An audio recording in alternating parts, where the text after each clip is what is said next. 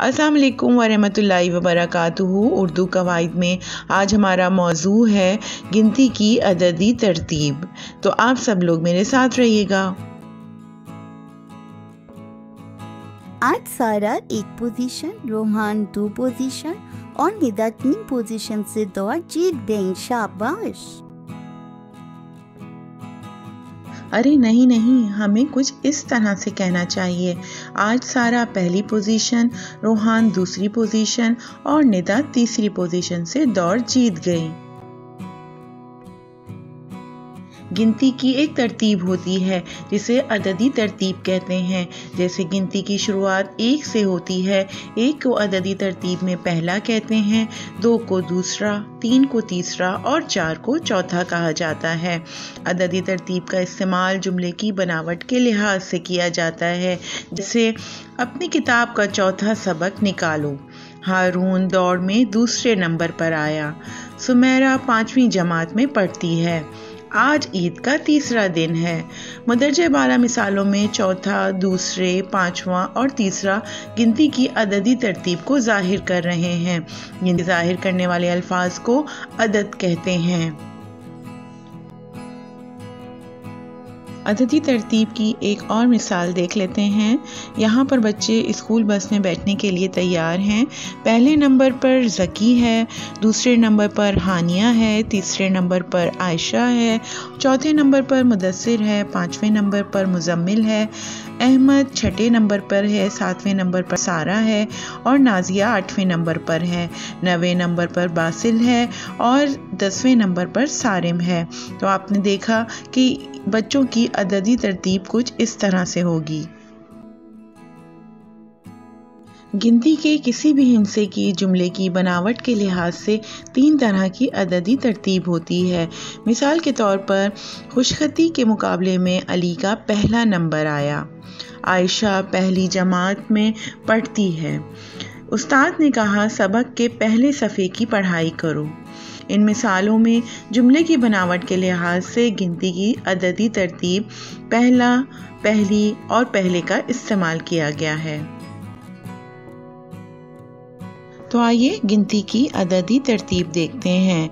एक एक को अददी तरतीब में पहला, पहली और पहले कहेंगे। दो को दूसरा, दूसरी, दूसरे। तीन को तीसरा, तीसरी, तीसरे। चार को चौथा, चौथी, चौथे। पाँच को पाँचवा, पांचवी, पाँचवें। छ को छठा, छठी, छठे। सात को सातवां, सातवीं, सातवें आठ को आठवां, आठवीं, आठवें नौ को नवा, नवीं, नवें दस को दसवां, दसवीं, दसवें ग्यारह को ग्यारहवा, ग्यारहवीं, ग्यारहवें बारह को बारहवा, बारहवीं, बारहवें कहेंगे। इसी तरह से तेरह को तेरहवा तेरहवीं तेरहवें बोलेंगे। चौदह को चौदहवा चौदहवीं चौदहवें पंद्रह, पंद्रवा पंद्रहवीं पंद्रहवें बोलेंगे। सोलह को सोलवा सोलहवीं सोलहवें बोलेंगे।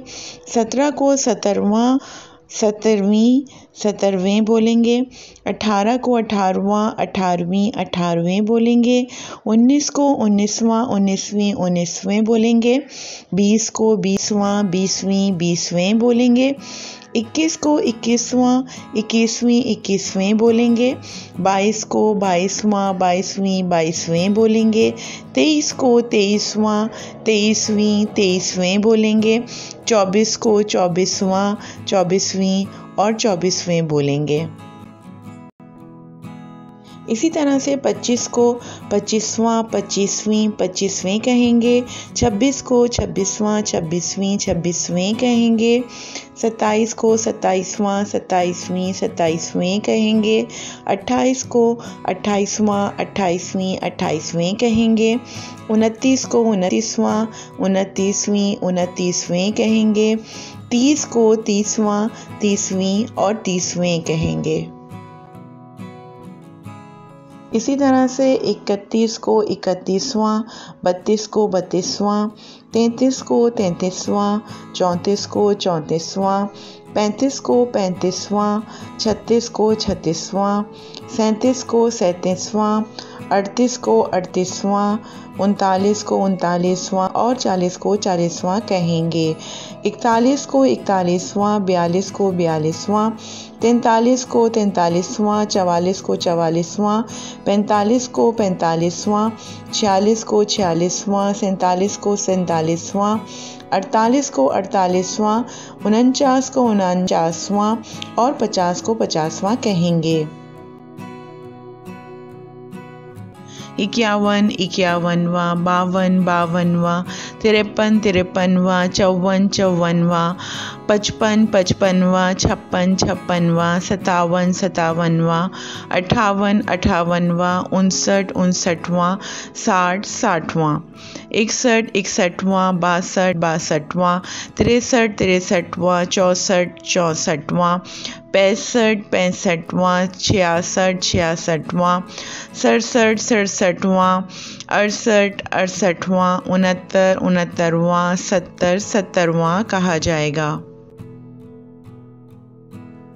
इकहत्तर, इकहत्तरवां, बहत्तर, बहत्तरवां, तिहत्तर, तिहत्तरवां, चौहत्तर, चौहत्तरवां, पिछहत्तर, पिछहत्तरवां, छिहत्तर, छिहत्तरवां, सतहत्तर, सतहत्तरवां, अठहत्तर, अठहत्तरवां, उनासी, उनासीवां, अस्सी, अस्सीवां इक्यासी, इक्यासीवां, बयासी, बयासीवां, तिरासी, तिरासीवां, चौरासी, चौरासीवां, पिचासी, पिचासीवां, छियासी, छियासीवां सतासी सतासीवां अठासी, अठासीवां, नवासी, नवासीवां, नब्बे को नब्बे कहा जाएगा।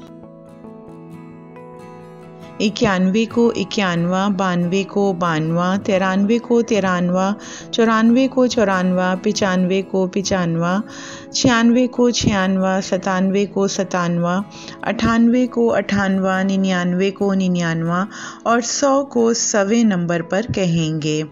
मुझे उम्मीद है आपको गिनती की अददी तरतीब की आगही हासिल हो गई होगी। अगले सबक तक के लिए मुझे इजाज़त दीजिए। अल्लाह हाफिज़।